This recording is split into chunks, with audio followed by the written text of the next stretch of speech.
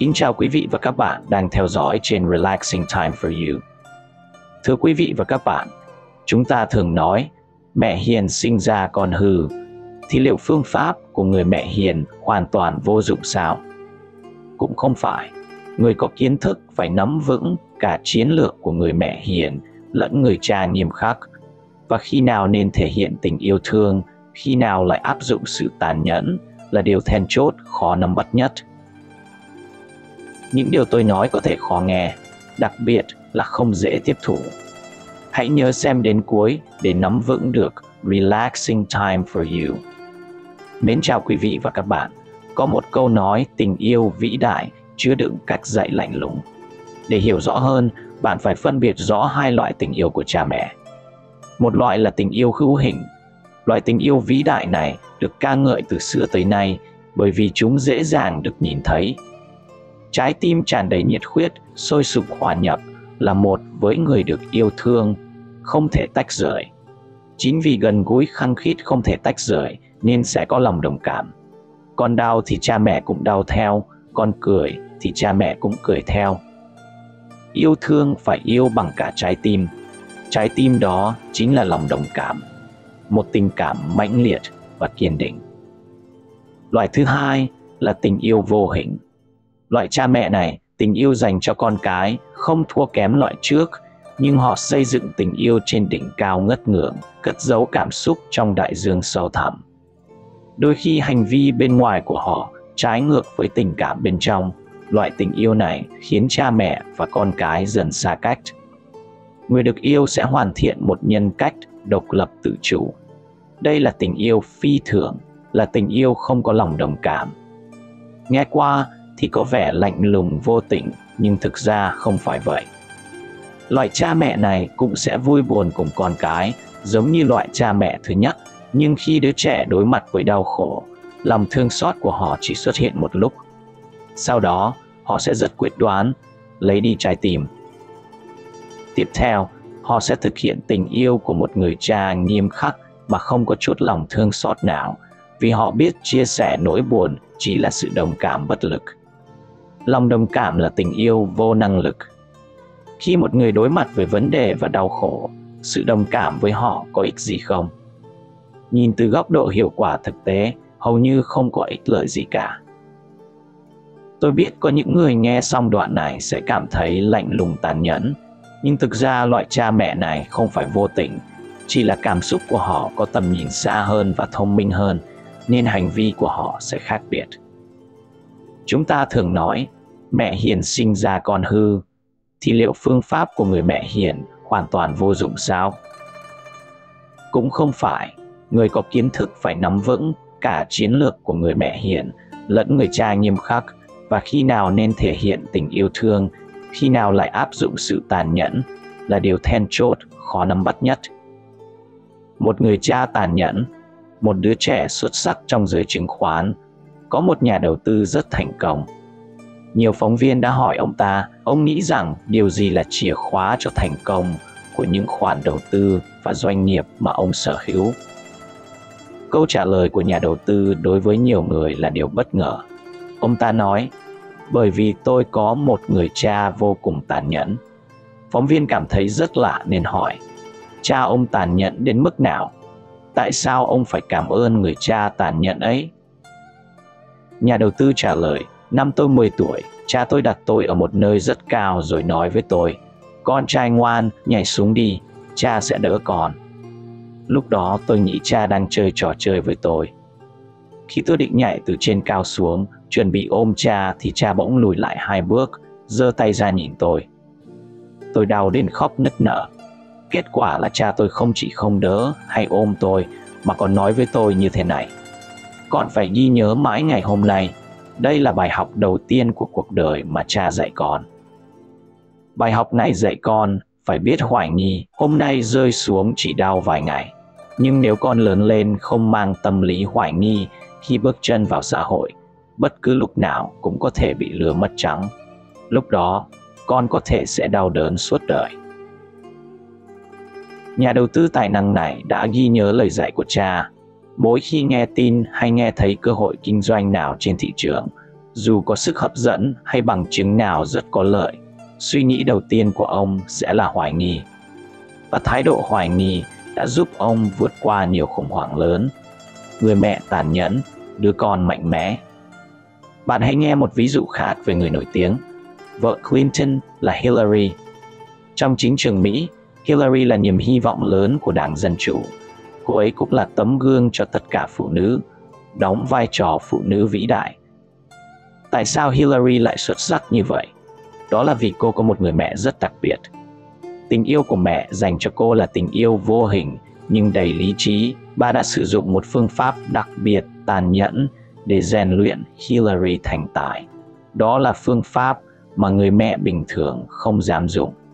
Câu chuyện bắt đầu từ khi họ chuyển đến môi trường sống mới một ngày nọ hillary ra ngoài chơi cô rất muốn kết bạn với trẻ em sống lâu năm ở đó Tuy nhiên, vì cô là người mới tới, hàng xóm không chỉ không chấp nhận cô mà còn bắt nạt cô. Lúc đó, Hillary bị tổn thương rất lớn, cảm thấy bất công, buồn bã, khóc và chạy về nhà than thở với mẹ. Khi cô kể với mẹ, mẹ chỉ gật đầu một cái, hoàn toàn không có bất kỳ phản ứng nào. Lần thứ hai, cô lại bị bắt nạt, Hillary một lần nữa khóc và chạy về nhà. Lần này, khi cô chạy đến cửa nhà, thấy mẹ dùng cả người chặn lối vào. Khi Hillary muốn lách qua bên trái, mẹ dùng tay chặn bên trái. Khi muốn lách qua bên phải, mẹ lại dùng tay chặn bên phải. Hillary cảm thấy rất lạ nên hỏi, mẹ ơi, tại sao không cho con vào mẹ? Cô ấy nói, mẹ không muốn thấy con. Con gái mình vì bị hàng xóm ăn hiếp mà chạy về nhà nghĩ rằng ẩn náu trong gia đình âm cúng là có thể được bảo vệ.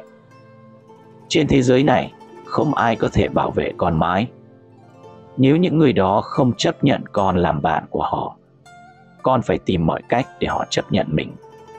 Nếu họ ăn hiếp con miễn là không phải lỗi của con dù con là con gái cũng phải đánh lại họ và nhất định phải đánh thắng cho đến khi họ không dám ăn hiếp con nữa như vậy mới là con gái tốt của mẹ lúc này, nhiều bà mẹ độc giả có thể đang nghĩ tại sao con gái bị tổn thương bên ngoài mẹ cô ấy không chỉ không an ủi cô ấy, mà còn chặn cô ấy ở ngoài cửa.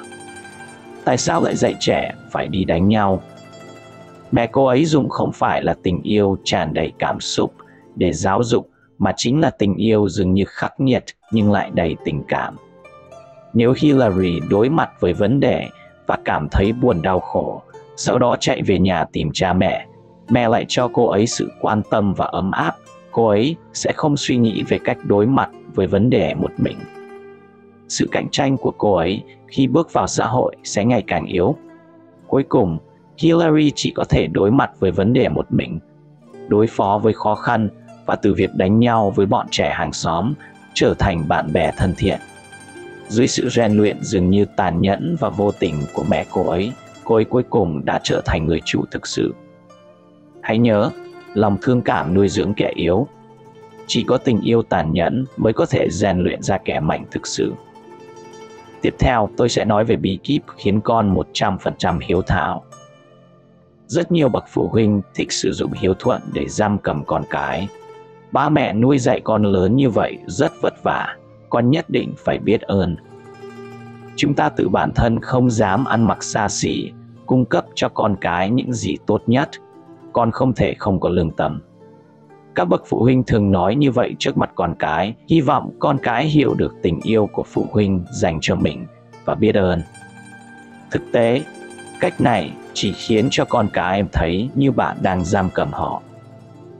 Đồng thời, phương pháp này chỉ khiến hy vọng của bạn thất bại bởi vì chúng sẽ không hiếu thảo với bạn đâu. Nếu bạn suy nghĩ kỹ, bạn bây giờ yêu vợ con của mình nhiều hơn hay yêu bố mẹ mình nhiều hơn. Khi con bạn trưởng thành, kết hôn và sinh con mức độ yêu thương họ dành cho vợ con của mình chắc chắn sẽ nhiều hơn là yêu bố mẹ mình nhưng không ai sẵn lòng thừa nhận điều này có người có thể nói không đúng tôi yêu bố mẹ mình lắm đó là bởi vì bố mẹ bạn hiện tại vẫn còn khỏe mạnh bên giường bệnh lâu ngày thường không có con hiếu thảo tôi sẽ kể một ví dụ nhỏ khi con bạn còn là trẻ sơ sinh bạn có thể hàng ngày giúp con làm sạch chất thải mà không cảm thấy khó chịu. Nhưng nếu là bố mẹ ốm đau nằm giường, bạn có thể làm những việc đó không? Bạn có thể làm bao lâu? Dù bạn có thể làm, nhưng bạn có thực sự tận tâm không? Chắc chắn là có thể. Tôi biết nhiều người sẽ trả lời vậy, nhưng bạn đã làm chưa? Bao lâu rồi? Từng ghét bỏ chứ? Dĩ nhiên, bạn sẽ lại nói rằng trên TV có đưa tin về những người con hiếu thảo chăm sóc mẹ ốm trong 10 năm. Nhưng có bao nhiêu trường hợp như vậy? Ngược lại, những sự kiện người già sống cuối đời cô đơn, bi thảm vì con cái bất hiếu thì nhiều vô số kể. Lấy trải nghiệm cá nhân của tôi, ông tôi có bốn người con trai và hai người con gái. Vào thời đó, gia đình ông tôi thuộc về loại có điều kiện khá giả. Ông tôi có 30 mẫu đất, sau đó còn có một ngôi nhà khá đẹp ở nông thôn. Sau khi các anh em kết hôn, họ đối xử rất tốt với ông tôi, tranh nhau làm này làm kia, mỗi người đều giống như con hiếu thảo. Sau đó, khi ông tôi vui vẻ, ông đã chia toàn bộ số đất và nhà đó cho bốn người con trai. Sau khi chia xong, những người con trai đó không bao giờ quan tâm đến ông tôi nữa. Họ còn mỗi người đều trách ông tôi, nói rằng ông đã thiên vị, chia phần của họ ít hơn. Về già, ông tôi bị bệnh liệt nửa người, nằm giường không thể tự lo cho bản thân. Sáu người con cái vì vấn đề ai sẽ chăm sóc, tranh cãi qua lại, đến mức suýt chút nữa là đánh nhau. Cuối cùng khi ông tôi sắp không qua khỏi còn có cơ hội điều trị, nhưng các bác tôi đã trực tiếp từ bỏ điều trị và ông tôi đã qua đời như vậy. Càng thực tế hơn, sau khi người già qua đời, các bác tôi đã tổ chức cái loại tiệc tang ở quê thuộc về việc mọi người đến viếng thăm người quá cố, sau đó cùng nhau ăn bữa cơm. Trong bữa tiệc, các bác tôi và các dì không có vẻ mặt buồn bã, thậm chí còn vui vẻ, niềm hạnh phúc lộ rõ. Mọi hận thù giữa các anh em trước kia trong một đêm tan biến, như thể họ đã cùng nhau chiến thắng một trận chiến. Những lời dạy từ nhỏ như thân thể và mái tóc là những gì nhận từ cha mẹ. Trên đời này chỉ có mẹ tốt, chỉ có ba tốt, vân vân, hóa ra lại dễ bị đánh bại đến thế. Đừng nghĩ rằng tất cả những điều này rất xa vời với bạn. Nếu bạn không đọc cuốn sách này, rất có thể khi về già, bạn cũng sẽ trải qua một cảnh ngộ bi thảm như vậy. Vậy làm thế nào để con cái của bạn 100% hiếu thuận với bạn? Tiếp theo sẽ dạy bạn một mẹo quý phải học hỏi từ các vị hoàng đế thời xưa. Trong thời cổ đại, khi hoàng đế chuyển ngôi, nói chung hoàng đế sẽ không chuyển ngôi cho con trai khi mình chưa qua đời.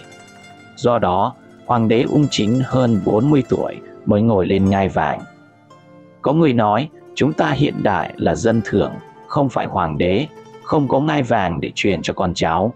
Anh chị em à, bạn không có ngai vàng, nhưng bạn có tài sản, đặc biệt là hầu hết mọi nhà đều có một căn nhà ở quê.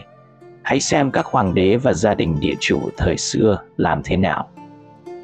Mưu kế truyền ngôi của hoàng đế thời cổ đại là trước tiên lập thái tử, lập di trúc, nghĩa là tạ gia đình. Lý thuyết sẽ được truyền cho con cái, nhưng trước khi hoàng đế qua đời, ông sẽ không truyền ngôi cho thái tử. Nếu thái tử không hiếu thuận, có thể lập tức bái bỏ thái tử, sửa đổi di trúc. Đó là khi bạn ra đi, bạn có càng nhiều nhà cửa, tài sản càng tốt. Nhưng trước khi bạn qua đời, tài sản của bạn không nên chia cho con cái, luôn nằm trong tầm kiểm soát của bản thân bạn. Như vậy, con cái của bạn để có được thừa kế của bạn sẽ rất hiếu thuận với bạn.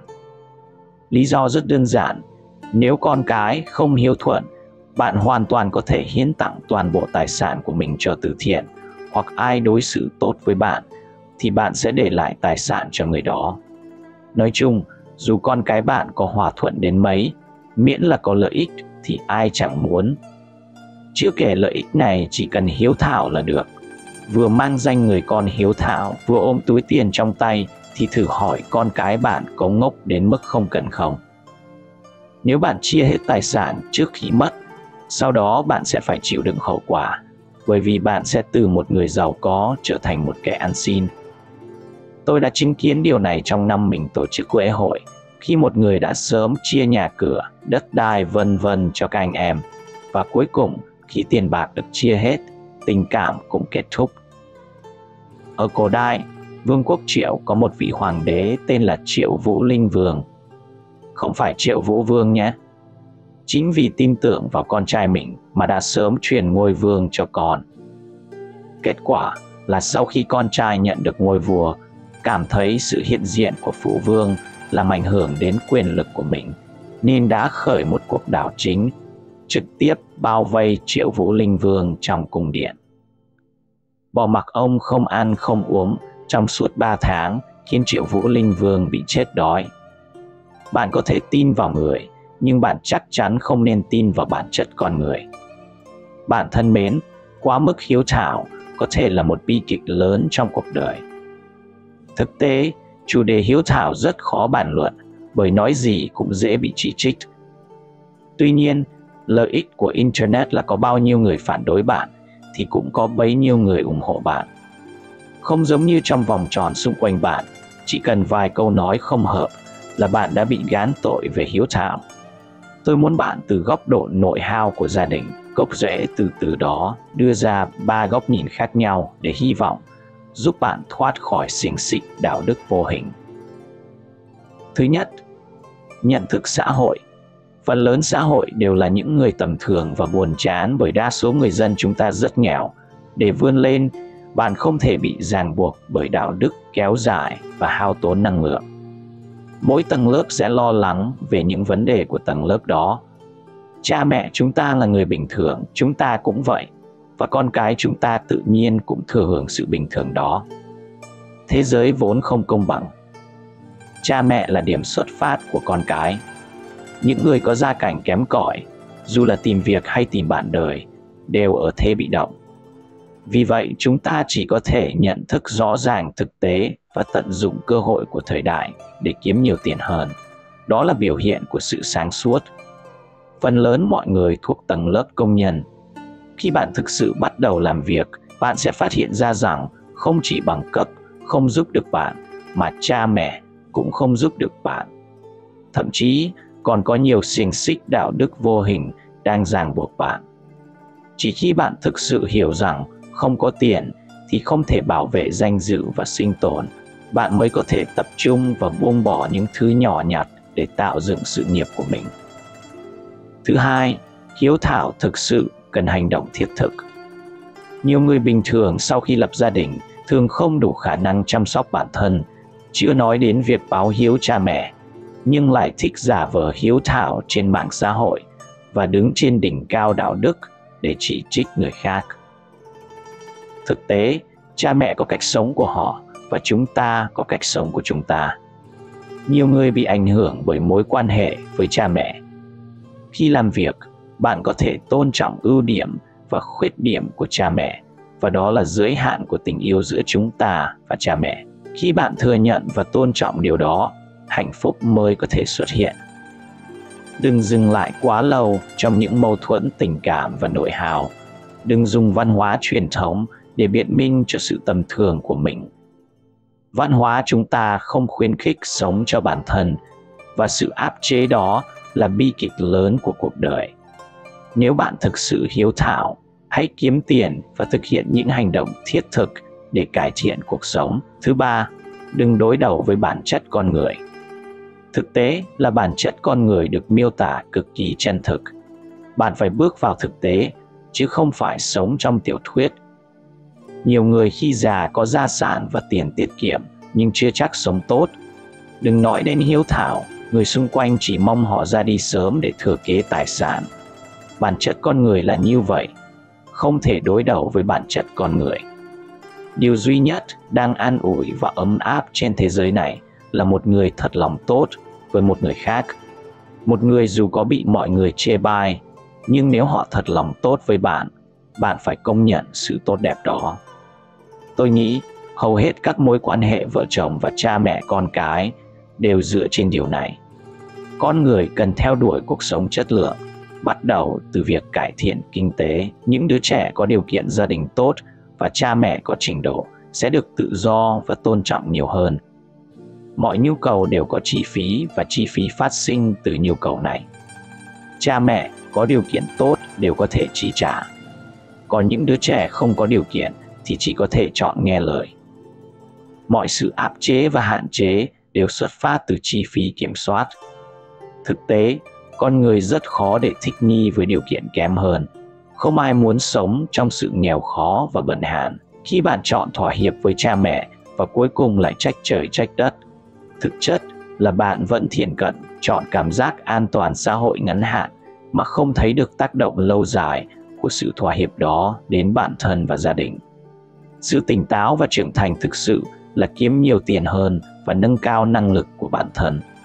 Hãy nhớ rằng, đạo lý đơn giản mà cứng nhắc, sự mê hoặc nằm ở sự phức tạp và sâu xa. Hiếu thảo thực sự là quản lý tốt bản thân, làm những việc đúng đắn và có đủ năng lực để giải quyết vấn đề sinh tồn và danh dự của gia đình. Cuối cùng, điều tôi chia sẻ tiếp theo cũng khá quan trọng và cần thiết. Bạn hãy cố gắng nghe đến hết.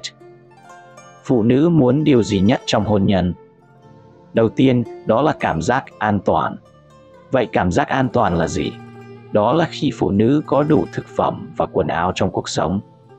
Khi gặp khó khăn, có người che chở, nhiều phụ nữ có thể không có tình yêu nhưng kết hôn chỉ vì cảm giác an toàn.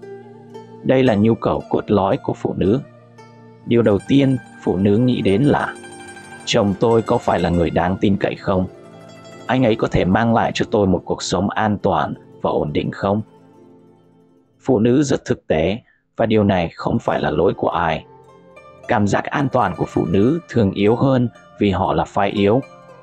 Ai có thể mang lại cảm giác an toàn cho phụ nữ, đó chính là đàn ông và gia đình nếu gia đình và người đàn ông không thể cho họ cảm giác an toàn, họ sẽ phải tự tìm kiếm và lấy nó kết quả là phụ nữ trở nên thực dụng thị tiền và quyền lực vì vậy, không thể trách phụ nữ vì họ sống rất thực dụng nếu đàn ông và gia đình không thể cung cấp cảm giác an toàn, thì việc phụ nữ thực dụng chỉ là hậu quả tự nhiên. Nhiều đàn ông phàn nàn rằng phụ nữ quá thực dụng.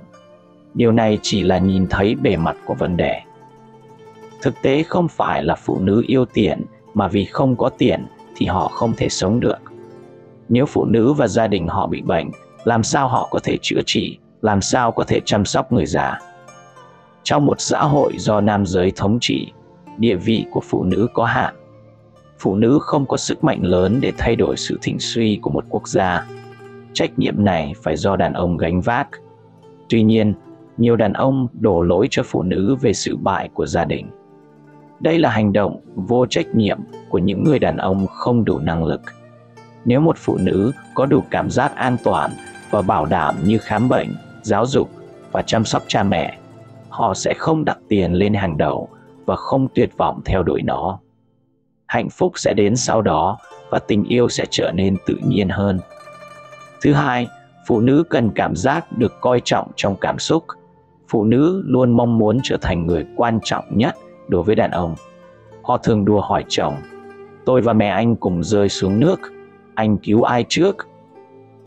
Điều này cho thấy phụ nữ rất cần cảm giác được coi trọng trong cuộc sống.